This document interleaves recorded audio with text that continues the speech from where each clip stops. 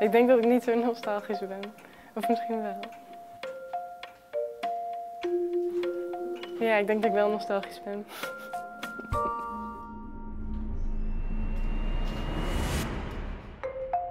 In de expositie hangen drie foto's.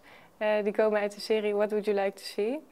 En daarin heb ik ehm, uh, drie mensen gevraagd uh, om mij een foto te geven van een dierbare herinnering of een ervaring die ze opnieuw zouden willen verbinden met hun uh, woonkamer.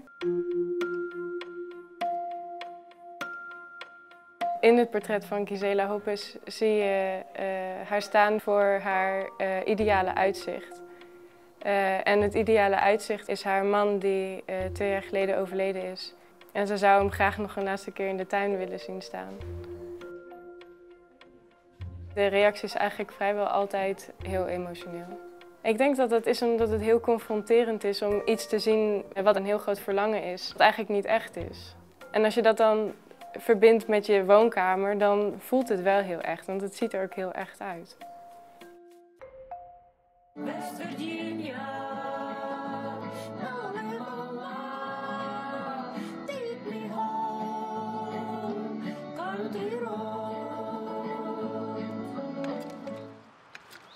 Ook een deel van mijn afstudeerwerk is de film Opa, Oma, Astrid. Een intiem portret van een familie wat uh, eigenlijk afgesloten van de rest van de wereld in een soort van bubbel leeft. Uh, waarin de tijd heel langzaam verstrijkt en iedere handeling met uh, onwijs veel precisie wordt uitgevoerd.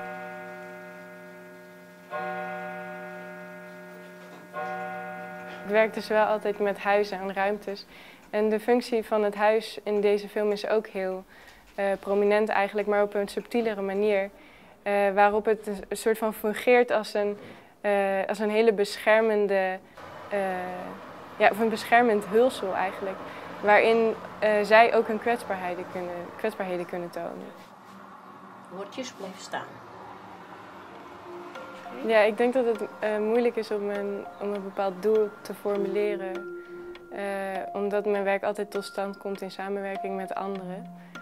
Um, uh, maar misschien is dat wel het doel, om, die, om contact te leggen en uh, uh, werk te maken met, ja, met mensen die ik niet ken. En het hele proces van het leren kennen van iemand en het samenbrengen van verschillende werelden in, in beeld.